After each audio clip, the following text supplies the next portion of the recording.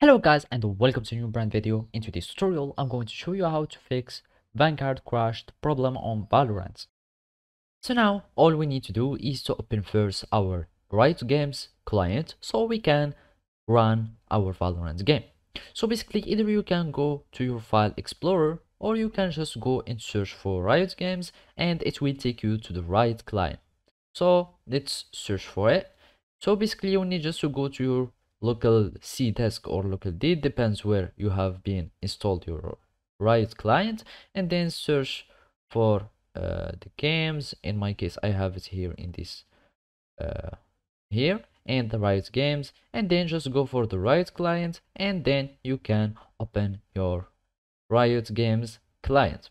And now we will just wait to open and then you will need just to sign in with your credentials and now all you need to do now is to open your Valorant game and then follow these simple steps.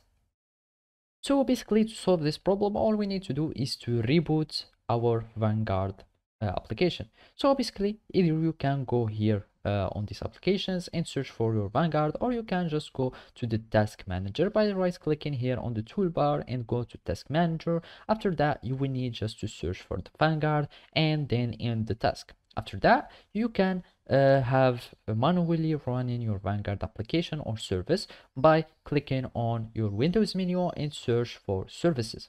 After that, we will need just to go and search for our VGC service and we click on it. And as you can see, it's still running in my case, but you will need just to go to properties and make it automatic. After that, you will need just to make it start after you have just ended uh, the Vanguard service.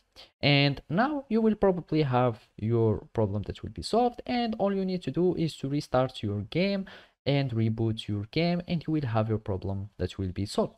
Otherwise you can uh, reinstall your Vanguard by going to the apps here and basically we need just to uninstall Vanguard, uh, Riot Vanguard. So we are just going to search for Riot uh, Vanguard and as you can see here you can click on it uninstall and uninstall then you confirm by clicking yes and then you will have uh, to continue the uninstall process and then after that you will need just to reboot the Valorant game and you will have uh, the the Vanguard service that will be reinstalled automatically and after that you will have your problem that will be fixed. So basically this is how you can solve this problem. Thank you for watching and see you next time